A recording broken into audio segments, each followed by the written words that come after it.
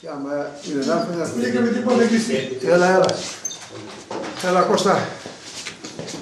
Λοιπόν, στο όνομα του Πατρός και του Υιού και του Αγίου Πνεύματος, αμήν. Βασιλεύ, ουράνιε, παράκατο, το πνεύμα της αληθείας, του παντακού παρών και τα πάντα πληρών, ο θησαυρός των αγαθών και ζωής χορηγός, ελθέ και σκύλος εν και καθάρισον εμάς από πάσης κυλίδος και σώσον αγαθέ, ψυχάς ημών. Αμήν. Ευχαριστούμε. Κύριε Βαγγέλης.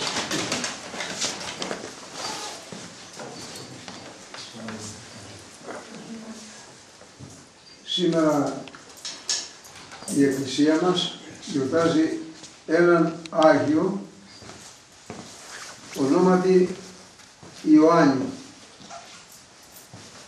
ή αλλιώς εορτάζει ο Άγιος Ιωάννης ο Ελεήμων.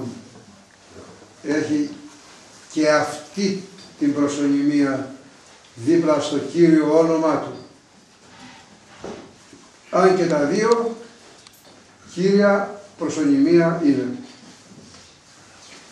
Ήτανε, μας γράφει εδώ ο συναξαριστής, γιος από μεγάλη οικογένεια, από πλούσια οικογένεια. Ο ίδιος μάλλον παντρεύτηκε, όχι μάλλον παντρεύτηκε και απέκτησε πολλά παιδιά που κατά παρακόρηση του πέθαναν όλα. Όσα παιδιά απέκτησε, όλα ο Θεός τα κάλεσε γρήγορα κοντά του. Και σύντομα έφυγε και η μητέρα του. Βλέπετε ο κλήρος που ο Θεός δίνει δεν είναι κατά την ανθρώπινη λογική. Είναι κατά τη δική του λογική, του Θεού. Έκτοτε έμεινε μόνος και αφιερώθηκε στο έργο της ψυχής του. Στο θεϊκό έργο.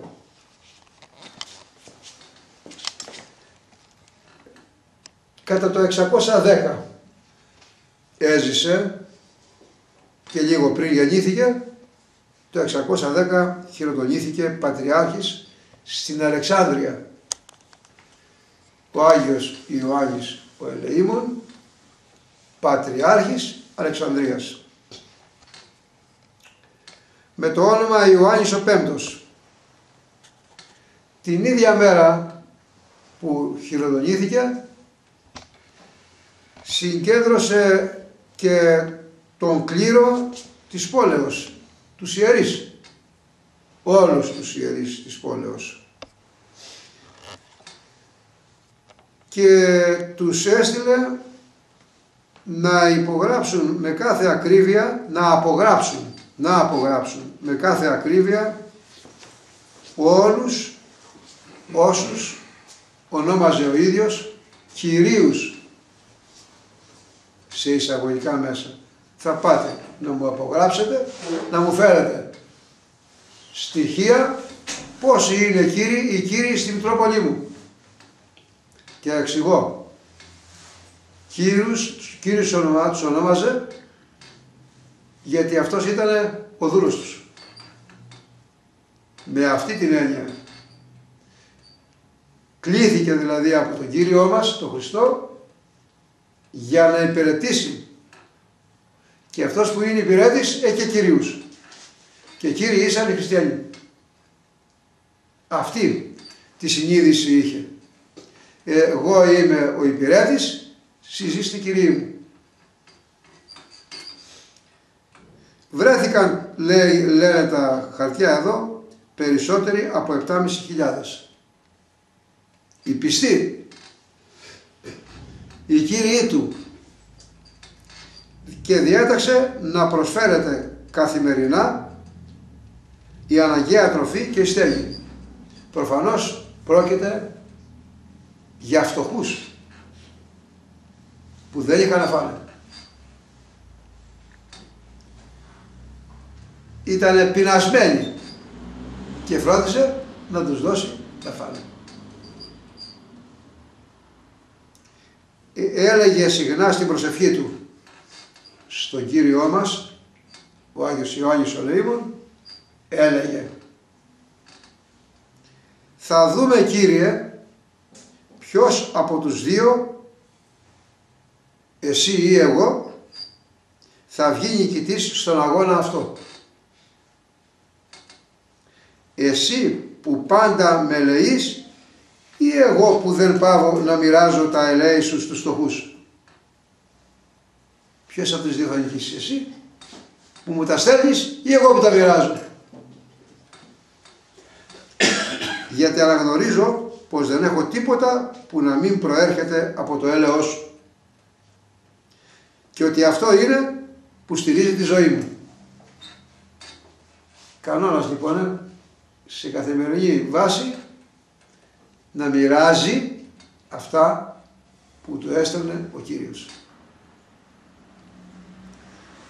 Πραγματικά το έλεος του Αγίου, η ελεημοσύνη δηλαδή, απέναντι στους στοχούς δεν περιγράφεται. Ήταν, ήταν ανίποτο. Οι ελεημοσύνες του ήταν άφθονες, σαν τα νερά του Νείλου που καλύπτουν περιοδικά τα εδάφη της Αιγύπτου, κάνοντας τα χώματα γόνιμα. Γι' αυτό και έλαβε και το όνομα Ελεήμων. Άγιος Ιωάννης, αργότερα ο Ελεήμων. Δεν μπορούσε να δει φτωχό ή πάσχοντα να τον πλησιάζει δίχως να χύσει άφθονα δάκρυα και να πάρει επάνω του τον πόνο του φτωχού που θυμίζει το Γεροπαΐσιο. Όμοια ε, γράφει ο Γεροπαΐσιος. Να πονάει ο άλλος και να μην πονάω δεν γίνεται. Γι' αυτό και, και, ο, και ο Γεροπαΐσιος ξάγρυπνος για τον πόνο των άλλων. Πάσης φύσεως πόνο έδινε αφίδος, αλίπητα έδινε. Από το Ταμείο της Εκκλησίας. Όπως τον είχε διδάξει ο Χριστός. Έδινε αδιάκριτα σε καλούς και κακούς. Και όπως λέει γράφει μάλλον ένας που έχει φύγει πριν μερικά χρόνια ιερωμένος κληρικός το στομάχι δεν γνωρίζει καλό ή κακό, άμα πεινάει θα του δώσει να φάει.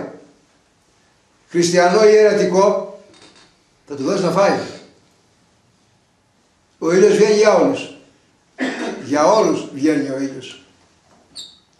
Μια ημέρα ένας στοχός που είχε λάβει την ελεημοσύνη από τον Ιωάννη τον Ελεήμονα παρουσιάστηκε άλλες τρεις φορές την ίδια μέρα στον Άγιο μετεμφιεσμένος να μην γνωρίζετε κάθε φορά διαφορετικά.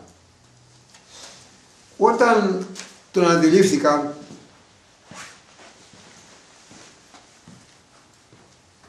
το είπαν στον Ιωάννη ότι αυτός είναι που είχε έρθει και άλλες τρεις φορές αυτός διέταξε να του δώσουν δυο φορές περισσότερα. Τότε λέει διέταξε δυο φορές πιο πολλά να του δώσουν. Λέγοντας, ίσως να είναι ο Χριστός, ο σωτήρας μου, που έρχεται επί τούτου για να με δοκιμάσει. Βέβαια, εγώ εγώ διστάζω να δώσω σε αυτούς που ξέρω ότι έχουν και μου απλώ το χέρι. Ο Άγιος είπε δώστε του μπορεί ένα Χριστός. Όμως όσο περισσότερο σκόρπιζε γύρω την ελεημοσύνη δίχως να σκέφτεται την ποσότητα ή την αυριανή ημέρα τόσο πολλαπλασίαζε ο Θεός τις δωρεές Του που προσφέρονταν στην Εκκλησία έτσι που επαληθεύονταν στο λαό η, ο λόγος του Κυρίου μη μεριμνάτε τη ψυχή ημών τι φάγετε, μη δε, μη δε τι πίετε. Μη δε το σώματι ημών τι ενδύσεστε. Ζητείτε πρώτα τη Βασιλεία του Θεού και τη δικαιοσύνη αυτού και τα πάντα προσθεθήσετε εμείς. Ο Άγιος Ιωάννης δηλαδή δεν φρόντιζε τι θα φορέσει ή τι, τι, τι θα φάει. Ήταν αφιερωμένος ψυχήτε και σώματι στο Κύριο. Και περίμενε σαν τα πουλάκια που δεν σπέρνουν ούτε θερίζουν. Και όμως ο Θεός τα ταΐζει.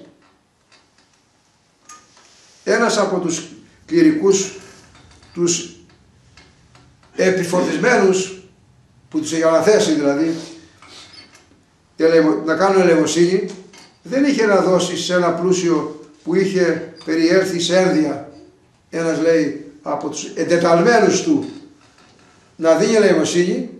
Πήγε ένας πλούσιος που είχε, που είχε, που είχε φτωχύνει και δεν είχε να του δώσει. Παρά το 1 τρίτο του ποσού που είχε ορίσει ο Άγιος να διανεμηθεί. Λέει, του έδωσε, αλλά δεν του έδωσε παρά μόνο το 1 τρίτο. Κρίνοντας ότι δεν ήταν λογικό να διάσει το ταμείο για έναν μόνο άνθρωπο. Του είπε, πάρτε να τα δώσει αυτά, ελεημοσύνη. Και ο άνθρωπος που έκανε την ελεημοσύνη, που τον είχε ορίσει ο, ο Άγιος Ιωάννης, σκέφτηκε να μην τα δώσω όλα στον έναν, να φάνε και άλλοι δύο που δεν έχουν. Έμεινε όμως άναυδος από ντροπή όταν Ιωάννης, ο Ελεήμων, το αποκάλυψε, προσέχτε το αυτό, ότι μία αρχόντισσα της περιοχής, μια γυναίκα αρχόντισσα, που είχε αποφασίσει να κάνει μια σημαντική δωρεά στην εκκλησία, είχε αποφασίσει να κάνει μια δωρεά γερή στην εκκλησία. Στο τέλος δεν έδωσε παρά το 1 τρίτο από το προβλεπόμενο ποσό. Το καταλαβαίνετε αυτό; Του είπε πάρε ο Ιωάννης και δώσε σε αυτό που θα έρθει αυτό το ποσό. Πόσο, 100. Τα πήρε αυτός που είχε να κάνει την νοημοσύνη, όπως το είπε ο Άγιος, αλλά δεν έδωσε 100, έδωσε 30. Το 1 τρίτο. Γιατί σκέφτηκε να φάνε κι άλλοι δύο. Ο Άγιος Ιωάννης λοιπόν εκ των υστέρων του λέει μια γυμνά καρχόντισσα ήταν να μας δώσει ένα εκατομμύριο και μας δίνει τα 300 χιλιάρικα μόνο. Το 1 τρίτο πάλι. Όσα έδωσε, τόσα πήρε. Αν είχε δώσει όλα που του είπε, θα έπαιρνε ολόκληρο το ποσό. Τέλος είναι. Είναι αυτό που λέει, δίνεις, σου δίνει. Αυτό είναι το θέμα όλο, όλο. Λοιπόν, το 614 μετά Χριστόν εισέβαλαν οι Πέρσες, έκαναν επίδεση οι Πέρσες στην επαρχία της Συρίας, εκεί που γίνεται τώρα το Πατατράκ και, κατάλα, και κατέλαβαν με τρόπο αιματηρό την Ιερουσαλήμ. 614. Ναι, είναι τότε που πήραν το Τίμιο Σταυρό. Και ήταν, μα, Τίμιος Σταυρό. Ένας μεγάλος αριθμός προσφύγων μαζεύτηκε στην Αλεξάνδρεια. Εκεί που ήταν Αρχιεπίσκοπος, Μητροπολίτης, ο Άγιος Ιωάννης ο Λεήμων, που γιορτάζει σήμερα. Ο Άγιος Ιωάννης τους δέχτηκε σαν αδελφούς του. Τους ανακούφισε, έκτισε νοσοκομεία με μεγάλους ξενώνες και εξάντλησε όλους τους πόρους της Εκκλησίας για να τους στρέψει και να τους εξασφαλίσει τα απαραίτητα. Όλους τους πρόσφυγες. Η αληθινή εκκλησία αυτή είναι που ακούτε τώρα. Η αληθινή εκκλησία είναι αυτή που ακούτε τώρα. Η εκκλησία που θυσιάζεται για τα πρόβατά της. Έστειλε επίσης στην Παλαιστίνη καράβια φορτωμένα σιτηρά και τρόφιμα, καθώς και εργάτες για να ξαναφτιάξουν τις καταστραμμένες εκκλησίες. Επισκεπτόταν ο ίδιος τους αρρώστους και τους αναξιοπαθούντες και στο πρόσωπό του φανέρωνε σε αυτούς κάτι από την παρουσία του Χριστού. Είναι σαν να βλέπανε τον ίδιο Χριστό. Όταν ήθελε κάποιος να τον ευχαριστήσει για τις αγαθοεργίες του, διέκοπτε απότομα το συνομιλητή του λέγοντας «Πάψε αδελφέ μου, γιατί δεν έχισα ακόμα το αίμα μου για σένα». Ναι». Πήγαινε ένας να του πει ευχαριστώ για αυτά που μου έδωσες, γιατί δεν είχα να φάω και του λέει «Στοπ, κλείσε το στόμα σου. Εγώ δεν έχεις ακόμα το αίμα μου όπως έχεις ο Χριστός για τα πρόβατά του». Αυτή τη συνείδηση έχει. Αυτή τη συνείδηση είχε. Κάθε Τετάρτη και Σάββατο στεκόταν στην πόρτα της Εκκλησίας και περίμενε να έρθουν προς αυτόν για να λύσει τις διαφορές, τις διαφορές με εκείνους που νόμιζε ότι ήταν εχθροί. Δεν εισήγαζε αν καταλάβαινε ότι κάποιος είχε κάτι με κάποιον, έπρεπε να λύσει τις διαφορές εκείνος. Έτσι είπε ο Χριστός. Να μην υπάρχουν ανάμεσά μας μίση και έχθρος. Κανείς δεν τον άκουσε ποτέ, ποτέ να πει μάταιο λόγο. Μάταιο λόγο. Περιτό. Ή να κατακρίνει τον οποιοδήποτε. Μη κρίνετε ή να μην κρυθείτε. Ακόμη μπροστά στις πιο ολοφάνερες αποδείξεις του αμαρτήματος, αν του λέγανε πω πω τι έκανε, τον σκέπασε. Τον σκέπασε. Θυμίζει τον Άγιο Κωνσταντίνο που λέει άμα δω να αμαρτάνει κάποιος και μάλιστα ιερέας θα βάλω το, την αλουργίδα μου και το βασιλικό ρούχο να το σκεπάσω μην το δούνε. Εμείς βάζουμε τον ιερέα άμα το δούμε και κάνει κάτι για να δικαιολογήσουμε τα δικά μας. Και να πει τι λες μωρέ θα πάω στην εκκλησία αμέσως. Σε όλους τους ανθρώπους δεν έβλεπε παρά μόνο το καλό. Βλέπω εγώ τον Τάσο και βλέπω να κάνει και καλό και κακό. Δεν έβλεπε το κακό, έβλεπε το καλό που έκανε μόνο. Το καλό που έκανε μόνο ο άλλος. Μεγάλη δουλειά. Πολύ μεγάλη δουλειά. Ή τις καλές προθέσεις. Υπόθεται ότι οι αμαρτωλοί αυτοί είχαν μετανοήσει κρυφά και πρόσεχε πολύ να μην οικειοποιηθεί την κρίση που ανήκει μόνο στο Θεό. Λέει, τον είδε να αμαρτήσει. Αλλά σου λέει, αν εκείνος έχει μετανοήσει κρυφά και τον είδα εγώ και πει, είμαι στο Θεό μου, κουβαλάω εγώ την καταδίκη. Εκείνος έχει ζωθεί γιατί είπε ήμαρτον και εγώ το καταδικάζω. Αυτό είναι. Δεν βλέπουμε τη μετάνοια τα λουνού. Γιατί τούτο εδώ πάει στραβά και βλέπουμε μόνο το στραβό που κάνει. Την ώρα που το κάνει.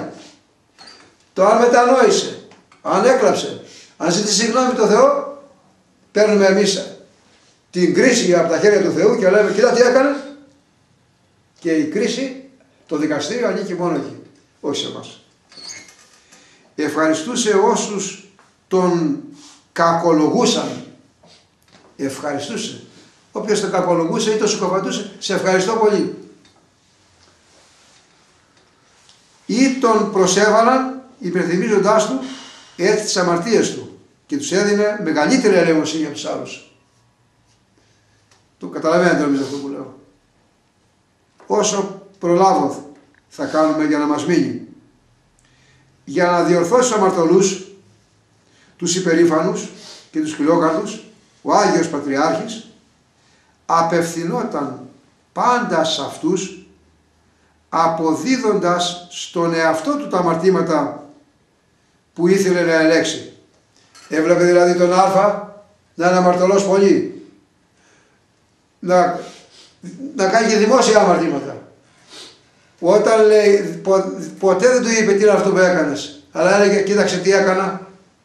Τα έβαζε στην πλάτη του.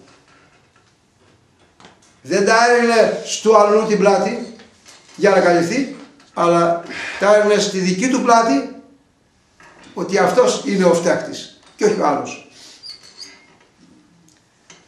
Προέτρεπε υπομονετικά τους πιστούς στην ταπεινοφροσύνη να είναι ταπεινοί και στη μετάνοια, υπερθυμίζοντάς τους τα θαυμαστά που έκανε ο Θεός για μας δημιουργώντας τον κόσμο και στέλνοντας το ίδιο το παιδί του, τον ίδιο τον Υιό του, ο Θεός για να μας σώσει μακροθυμώντας.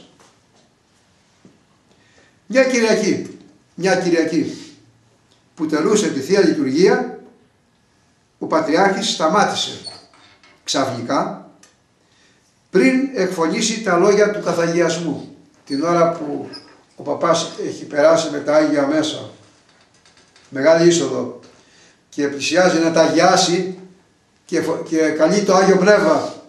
Το Πνεύμα το Άγιο έλα αγίασέ τα λέει μια ευχή και κάνε τον άρτο σώμα και τον ήλιο κάτω αίμα πριν τα, μάλλον την ώρα, την ώρα που έπρεπε να, τα να, να, να κάνει την προσευχή αυτή σταμάτησε ζήτησε από τον διάκονο να επαναλάβει τις δεήσεις και έστειλε να φωνάξουν έναν από τους κληρικούς της εκκλησίας του. Σταμάτησε την Θεία Λειτουργία και έστειλε να φωνάξουν έναν παπά της εκκλησίας του, που δεν ήταν στην εκκλησία, ο οποίος κρατούσε μυσικακή απέναντί του. Μισούσε τον Άγιο. Και δεν ήταν παρόν στο ναό. Όταν ήρθε εκείνος, ο Πατριάρχης γονάτισε μπροστά του με δάκρυα στα μάτια και του ζήτησε συγχώρεση. Έφταιγε ο άλλος, τον φωνάζει, σταματάει τη Θεία Λειτουργία, το έρχεται, του γονατίζει και ζητάει συγγνώμη για τα αμαρτήματα που ακύρωσε και που έκανε ο Άγιος Ιωάννης; Ζήτησε συγγνώμη για το κακό που έκανε ο άλλος, αυτό το δικό του.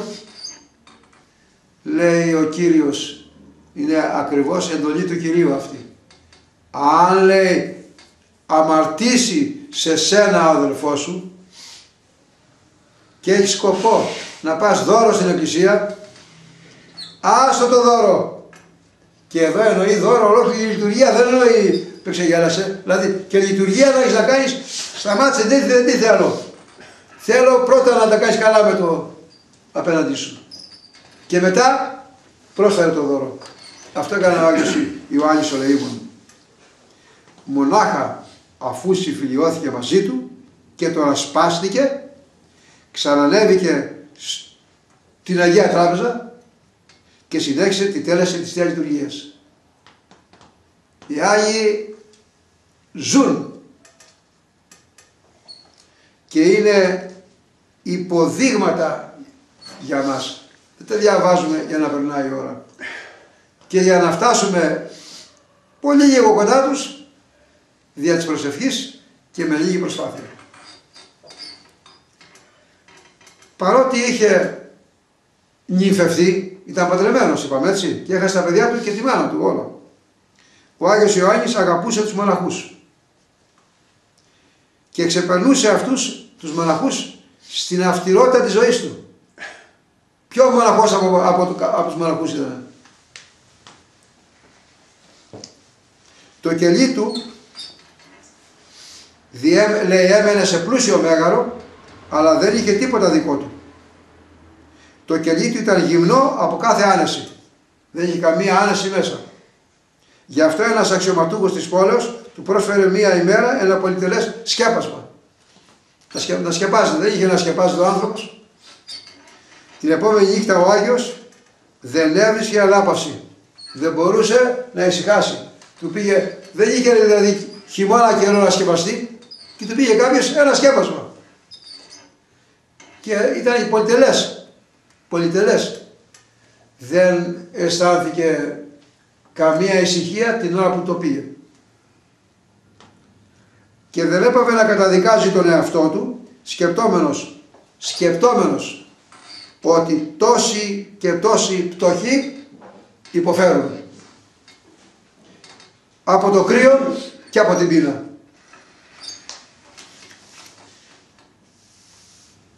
Στην πόρτα του, ενώ εκείνος περιβαλλόταν από τόση πολυτέλεια.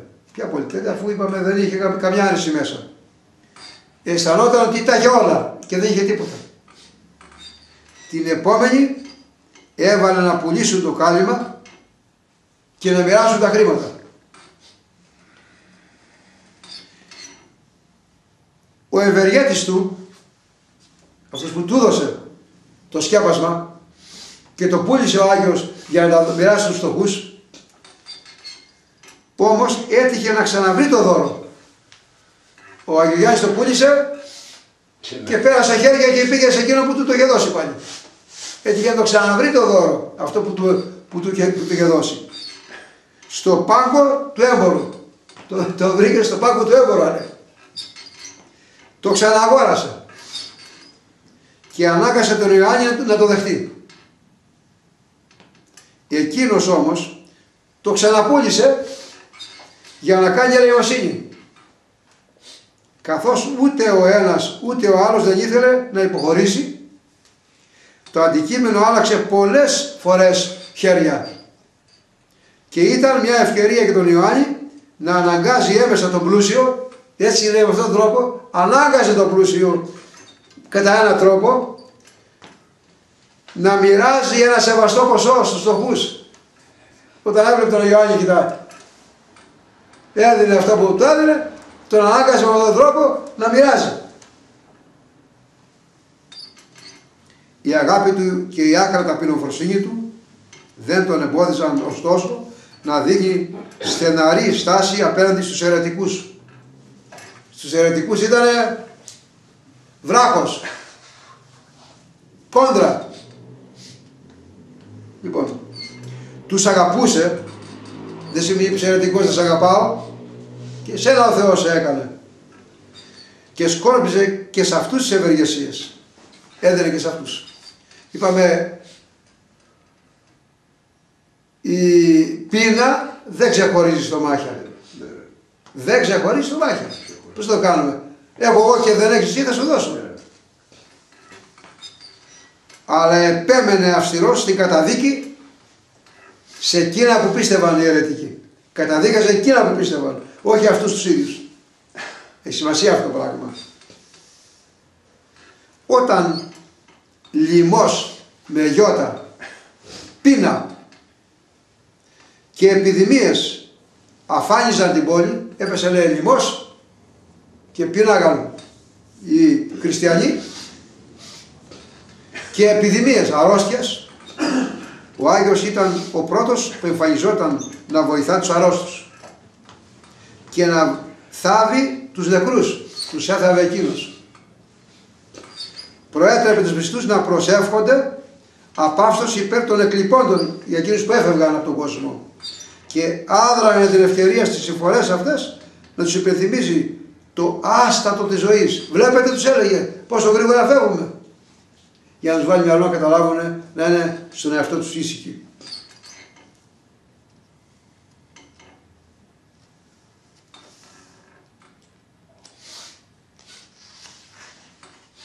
λίγο πριν την κοίμησή του, λίγο πριν πεθάνει ο Άγιος Ιωάννης.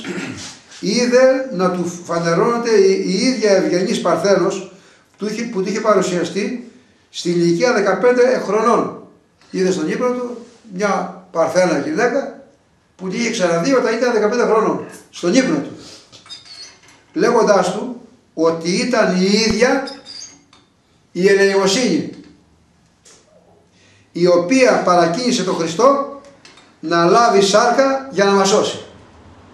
Το καταλάβατε τι είδε; Είδε την αρετή της ελεημοσύνης, γυναίκα, του λέει εγώ είμαι που παρακίνησα τον Κύριο να έρθει να σταυρωθεί για να σώσει τον κόσμο. Και υποσχόταν να του ανοίξει τη βασιλεία των ουρανών. Του λέει εγώ θα σου ανοίξω την πόρτα του παραδείσου. Θαύτηκε στην Αμαθούντα, στην Κύπρο. Είναι, εκεί είναι η πόλη Αμαθούς, στον τάφο του Αγίου Τύχωνος. Λίγο μετά το θάνατό του, ανέβησε μύρο από τον τάφο του. Από το σκήνομα του Αγίου προς αγαλίαση και παρηγορία των πιστών. Αυτό που μόλις τελειώσαμε είναι ο βίος του Αγίου Ιωάννου του ελεήμονος που εορτάζει σήμερα. Έχουμε λοιπόν απέναντί μας έναν Άγιο που η καρδιά του χτύπαγε μόνο για τους άλλους. Για εκείνους που στη ζωή πονούσαν. Σίγουρα περνάει από το λογισμό μας, σίγουρα περνάει από το λογισμό μας, ότι ο Άγιος ήταν μία από τις μεγαλύτερες κορυφές αγιοσύνης. Και έτσι είναι. Και έτσι είναι. Όσο πιο ψηλά. Αλλιώς, όσο πιο πολύ αγιάζει ο άνθρωπος, τόσο πιο αμαρτωλός αισθάνεται. Όσο δεν καταλαβαίνει τι ζητάει ο Χριστός, τόσο πιστεύει ο ίδιος προσωπικά ότι είναι ο καλύτερος του κόσμου. Είναι έτσι Βασίλη. Ξαναλέω, όσο περισσότερο πλησιάζει τον Κύριο με την αρετή του ο κάθε άνθρωπος, τόσο νιώθει ότι είναι ο αμαρτωλότερος του κόσμου. Παράδειγμα, ο Χριστός, λέει ο Απόστολος Παύλος, ήρθε αμαρτωλούς να σώσει. Αλλά ο πρώτος από όλους σε όλο τον κόσμο είμαι εγώ, λέει ο Απόστολος Παύλος. Και το σχολιάζει ο Άγιος Ιωάννης Χρυσόστομος αυτό. Λέει, ανέβηκε την υψηλότερη κορυφή, δεν υπήρχε άλλη κορυφή να ανέβει από αγιοσύνη και όταν την ανέβηκε είπε, είμαι ο χειρότερος από όλο τον κόσμο. Ο αμαρτωλότερος από όλο τον κόσμο. Πάμε τώρα αλλιώς δεν ανοίγεις στην Αγία Γραφή. Δεν εκκλησιάζεσαι, δεν εξομολογείσαι, δεν κάνεις έργα που ζητάει ο Κύριος, τότε φωνάζεις δυνατά. Δεν έκανα κανένα κακό. Είμαι ο καλύτερος του κόσμου δεν σκότωσα, δεν έσβαξα, δεν αδίκησα το τροπάριο που συνήθως ακούγεται επαναλαμβάνω όταν βασιλεύει η άγνοια, η άγνοια βασιλεύει. Γιατί σκόπιμα δεν ζητάς να ανάψεις το φως γιατί σε αρέσει να κάνεις τα έργα του σκοταδιού και δεν ανοίγεις το Ευαγγέλιο και δεν πας στην εκκλησία, τότε βλέπεις τον εαυτό σου Άγιο. Ναι, αφού δεν έχεις μάτια, τι θα κάνεις; Θα δεις ότι είσαι, ότι είσαι ε, ε, αμαρτωλός; Σκοτάδι είσαι Γι' αυτό το λόγο και λες είμαι ο καλύτερος. Όταν όμως ανάβεις το φως και βλέπεις ότι οι άλλοι είναι πολύ καθαροί, λες πω, πω τι βρώμικος που είμαι. Δεν, ο Άγιος λοιπόν μας δίνει το δικαίωμα, το δικαίωμα να πούμε, δεν είμαστε Άγιέ μου στο Ανάστημά σου, αλλά δόξα τω Θεώ, σε ευχαριστούμε, γιατί μας δίνεις την αφορμή να καταλάβουμε ότι πρέπει να κάνουμε ένα βηματάκι. Ένα μικρό βηματάκι. Αυτό το βηματάκι ζητάει από μας ο Κύριος. Προσοχή να μην είμαστε επιπόλαιοι και ενώ είμαστε γεμάτοι από πληγές θέλουμε να κάνουμε το γιατρό να γιατρέψουμε τους άλλους. Ότι γνωρίζουμε και τα φάρμακα, γνωρίζουμε και ιατρική. Ενώ δεν, δεν φοιτήσαμε καθόλου σε καμία ιατρική σχολή. Και εδώ βεβαίως εννοούμε ότι ενώ δεν έχουμε να παρουσιάσουμε μελέτη της γραφής, προσευχή, δεν έχουμε κυρίως αυτό που λέγεται αγάπη, τολμάμε και μιλάμε. Ένα. Δεύτερο. Ζούμε, με αφορμή τον Άγιο που διαβάσαμε, ζούμε σε μία κοινωνία που δυστυχώς παραπέει, παραπέει, δηλαδή έτοιμη ή μάλλον κυλάει προς τον κρεμό. Αυτό το καταλαβαίνουν και οι πιο διάφοροι, αδιάφοροι μέσα στην Ελλάδα. Ότι έχουμε κατακυλήσει και ότι βρισκόμαστε στο χάος που οδηγεί ελάκο κατωτάτο. Δηλαδή βαδίζουμε για να πιάσουμε πάτο στο βαθύτερο λάκκο. Έτσι λέει ο Δαβίδ. Εγώ λέει βρίσκομαι εν λάκκο κατωτάτο. Το αισθάνεται αυτό και κάνει τα χέρια έτσι και λέει ε, ε, εκεί που ακούτε αυτό που θα ακούσετε λέει και αυτό που είπα το κατώτατο λάκκο Κύριε εισάκουσον της προσευχής μου και ενώσε τη δέησή μου στον ψαλμό αυτό μέσα που λέει Κύριε άκουσέ με που σου μιλάω στην προσευχή και τη δέηση, την παράξη που σου κάνω εσύ άνοιξε τα αυτιά να την ακούσεις. Γιατί βρίσκομαι εν λάκκο κατωτάτο. Έλα να με τραβήξεις. Δεν θα βγούμε από το λάκκο αν δεν σηκώσουμε τα χέρια μας επάνω. Μη κοροϊδευόμαστε χαριτολογώντας και διασκεδάζοντας ενώ γύρω μας χάνεται το παν επειδή έχει απομείνει κάτι για να μπορούμε να ζήσουμε οι άλλοι πνίγονται και βλέπεις δεν καμπαρίζουν. Πληρώνουμε κατά του Ευαγγελίου, κατά το Ευαγγέλιο πληρώνουμε τα σπασμένα μας. Πληρώνουμε τα σπασμένα μας. Μας έδωσε ο Κύριος τα αγαθά, την περιουσία και του είπαμε για χαρά Κύριε δική μας είναι η περιουσία θα την κάνουμε ό,τι θέλουμε και σαν τον άσωτο τη πεταλήσαμε. Ο, ο νοό νοήτο. Ο πιστεύει καταλαβαίνει. Ο Άγιος που ακούσαμε μόλις προηγουμένως το βίο του είχε ένα στόχο στη ζωή του. Ένα και μοναδικό στόχο. Και εμείς τον έχουμε αυτό το στόχο. Αλλά κατά, κατά πόσο τον βλέπουμε και κατά πόσο βαδίζουμε το δρόμο που οδηγεί στο στόχο αυτό. Το στόχο να νικήσει το Κύριο. Προσέξατε που το διαβάσαμε. Το διαβάζω προσεκτικά για να το δείτε. Ε, εγώ λέει Κύριε εσύ ή εγώ θα νικήσουμε. Εσύ που μου τα δίνεις ή εγώ που τα μοιράζω.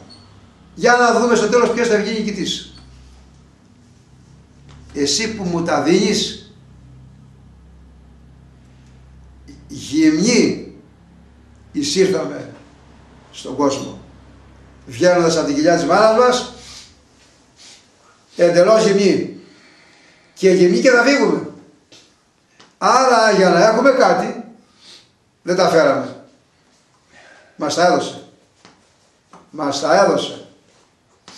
Είχε επίγνωση, επίγνωση ο Άγιος.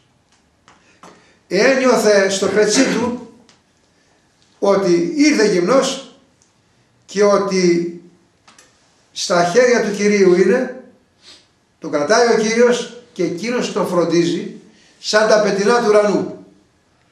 Και αν έχει κάτι, αυτό το κάτι είναι του Κυρίου και έχει χρέος να το δώσει εκεί που δεν υπάρχει. Γιατί ήξερε ότι μόνο μία τράπεζα δεν φτωχαίνει. Μόνο μία τράπεζα. Η τράπεζα που ανήκει στο Θεό. Και όταν τα δίνεις σε αυτόν που δεν έχει να φάει, τα, τα τοκίζει στην τράπεζα του ουρανού. Και ο τόκος αυτός δεν έχει καμία φθορά. Γιατί εκεί δεν υπάρχει λέει ούτε εσείς ούτε βρώσεις. Δεν υπάρχει δηλαδή ε, σκόρος να τα πειράξει τα λεπτά ούτε να τα, ε, να τα σκουριάσει ώστε να χάσουν ε, την αξία τους από τη φθορά που θα υποστούν. Εκεί είναι στα χέρια του Θεού. Η τράπεζα του ουρανού. Εκεί τοκίζεις και ο τόκος μένει. Οτιδήποτε τοκίσεις. Δεν είναι μόνο τα λεπτά που τοκίζουμε, αλλά είναι και ό,τι καλό κάνουμε. Θα πω ένα παράδειγμα. Πέθανε ένας που έχει μεγάλη ακτινοβολία στη ζωή, γιατί γνωρίζει πολλά γράμματα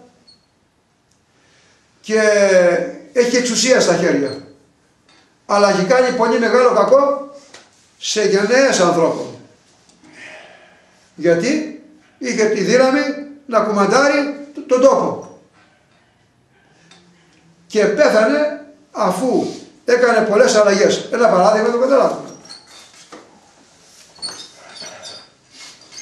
Μια φορά και έναν καιρό η έκτρωση ήταν άγνωστη στην Ελλάδα. Αν γινόταν, γινόταν δειλά-δειλά κρυφά. Έρχεται αλφα πολιτική κατάσταση και ψηφίζει νόμο και λέει ελεύθερες εκτρώσεις. Από τότε που ο νόμος ψηφίζεται αυτός μέχρι σήμερα έχουν σκοτωθεί εκατομμύρια.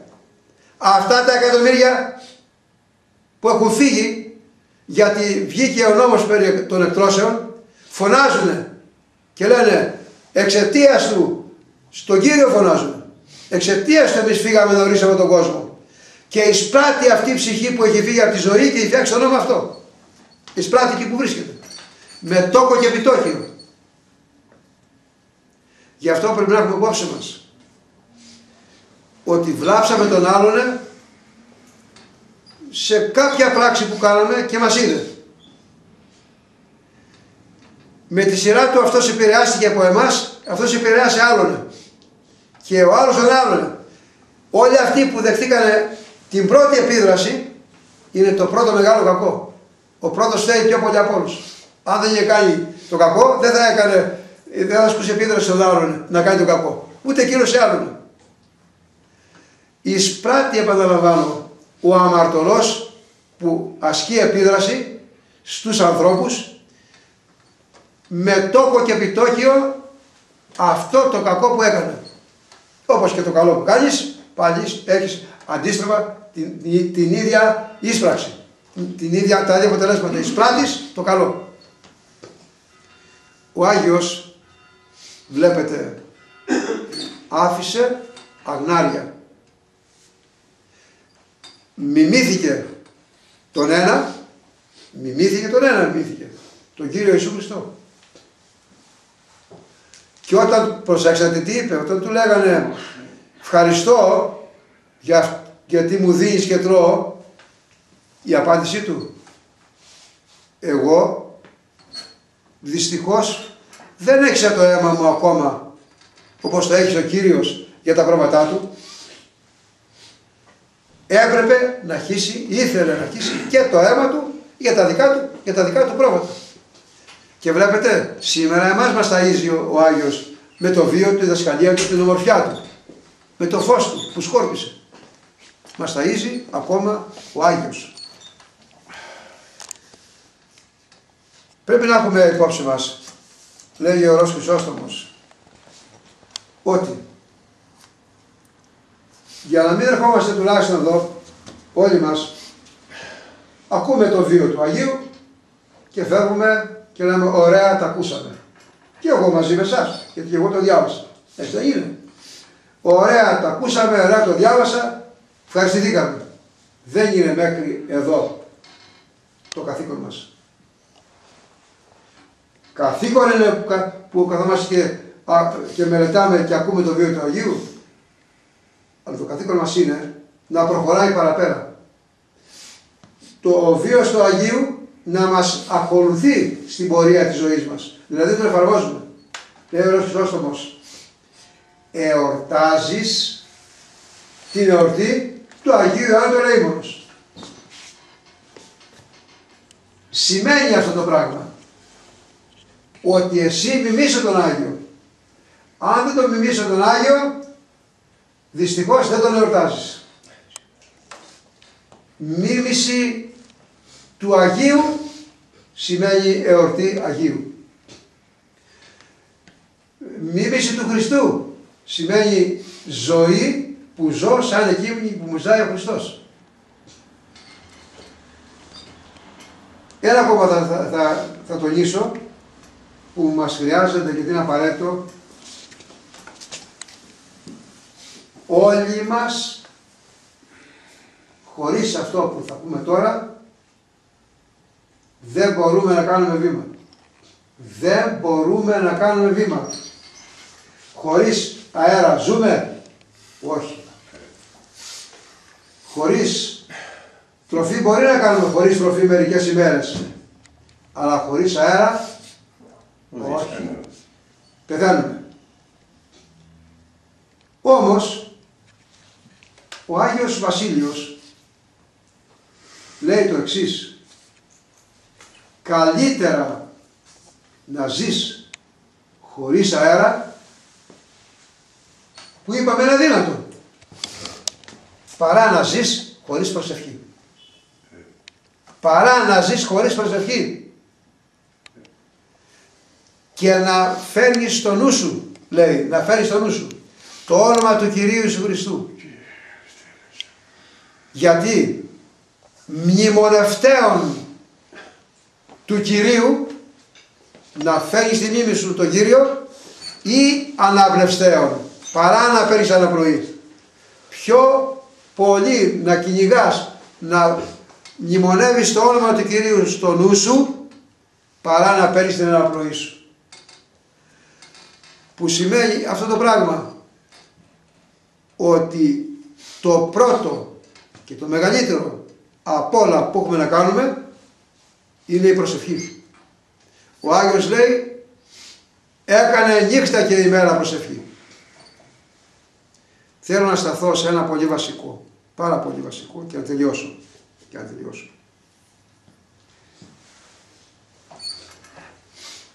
Είχε αρχίσει η Θεία Λειτουργία, την οποία την τελούσε ο Άγιος, ως ιεράρχης, ως επίσκοπος, ως Μητροπολίτης που ήταν στην Αλεξάνδρεια.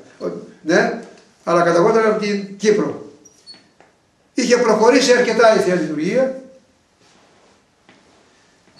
και από το λογισμό του πέρασε ότι ο τάδε χριστιαν, ο τάδε ιερέας τον εμισεί, τον φθονεί, ε, όχι για τίποτα άλλο, επειδή έχει μέσα το κακό εκείνος ο άνθρωπος και δεν του μιλάει.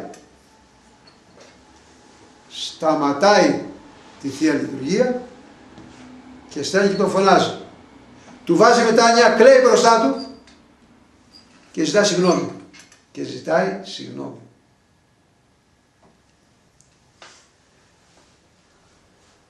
Δεν θα είμαστε αναπολόγητοι, αναπολόγητοι σε κάποιο πρόσωπο είπα κάποτε, μου είπε ότι το τάδε πρόσωπο με έβλαψε. Και εγώ δεν μπορώ να έχω επικοινωνία μαζί του.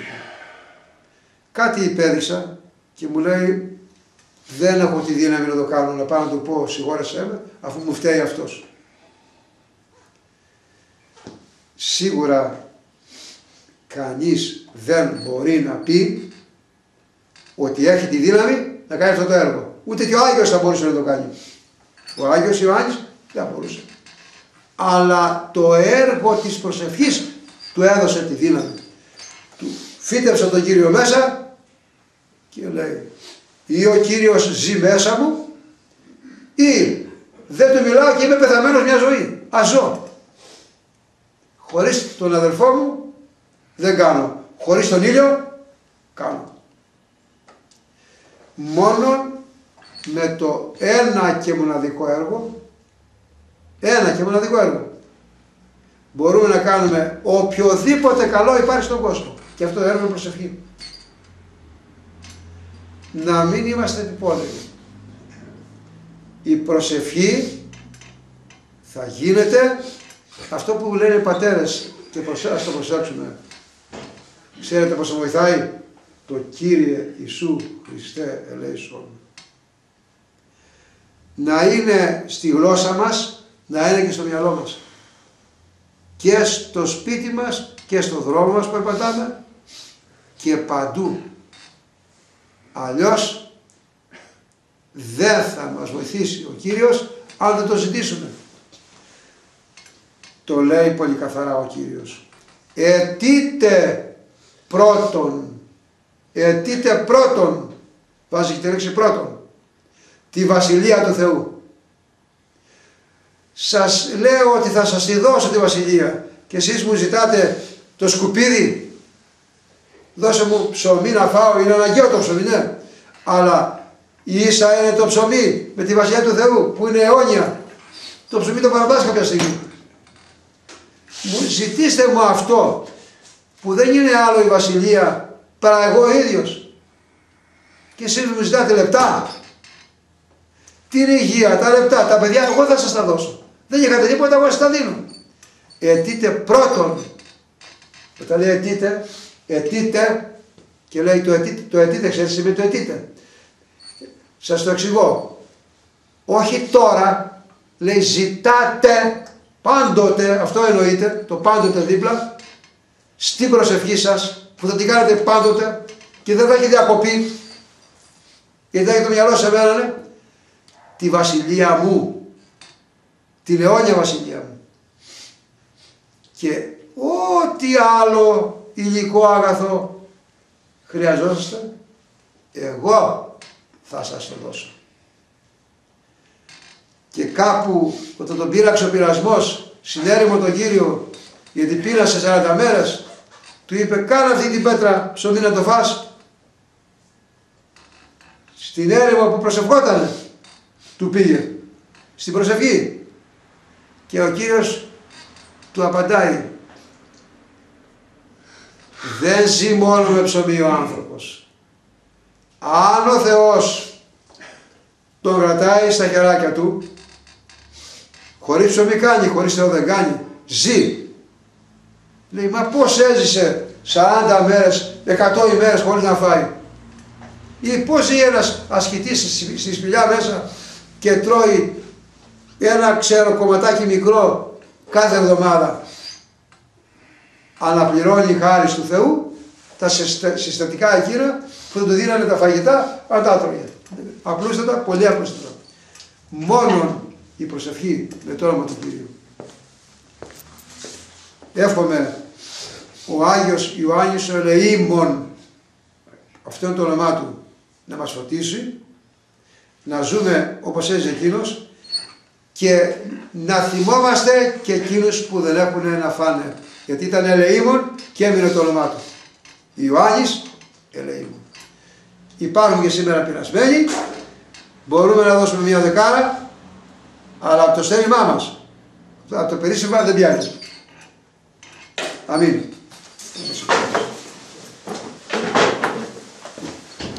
Άγιος ο Θεός, Άγιος Ισχυρός, Άγιος ο Θάνατος, ελέησον μας. Άγιος ο Θεός, Άγιος Ισχυρός, Άγιος ο Θάνατος, ελέησον μας. Άγιος ο Θεός, Άγιος ισχυρός, Άγιος ο Θάνατος, ελέησον εμάς. Πάτερ ημών, εν σου ουρανής, διαστήτω το όνομά σου, ευθέτω η βασιλεία σου, γεννηθείτε το θεμά σου, ως εν ουρανό και της γης, τον άρθρο ημών των επιούσεων, δώσε ημίση σήμερα, καθεάθη στιγμή και αφιλήμενα ημών, ως και εμείς αφήρετος στις εκλέτες ημών, και εμείς εν έχεις ημάς των λόγων, αλλά είσαι ημάς από τον κείμενο διευκόν των Αγίων Πατέρων ημών, Κύριε Ιησούς Χριστέ Θεός, ελέσουν και σώσουν εμάς. Αμήν. Εδώ πάλι και άλλη φορά, ώρα έξι. Όχι, εδώ συνέχεια. Ναι, συνέχεια, συνέχεια. Γιατί μπερδευτήκαμε. Πήγε από εκεί. Καλή Κωστάκη, ευχαριστούμε. Πήγε από το Άγιο Βασίλειο. Ναι, έτσι είπαμε, γιατί είπαμε. Έτσι είπαμε. Αυτό είναι. Λοιπόν, πάω για Αθήνα, Βασίλειο. Σας αφήνω. Το Γέννη κάτι σε πλέον έφυγα τρεχά στο σπίτι, το ξέχασα, θα το δώσω όμως. Ε, εντάξει, θα βρω το πισχάς. Τι θέμα έχεις την περασμένη εβδομάδα; Ε, Τι θέμα έχεις; Άγιος Ιωάννης Ελίγου.